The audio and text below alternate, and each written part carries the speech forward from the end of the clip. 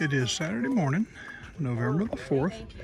We are out here at the Veterans Cemetery in Gunville, and we're well, just a few days away from uh, Veterans Day. And so we're getting our stuff now, and we're going to be putting flags out here in this section of the cemetery. I just spoke with the lady over here. Uh, she's actually with the Boy Scouts. And we're only doing this lower section of the uh, cemetery today. Normally we do the whole thing. If you look up there off in the distance, you can see hundreds and hundreds of uh, headstones.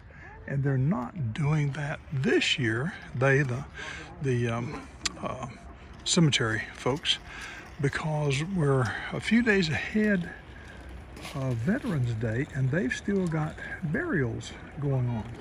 And so they don't want to, uh, don't want this to be an impediment. And so for that reason, we're going to be down here in this section that is, is finished. We will not be adding any more graves. And that's all we're going to have today, all we're going to do today.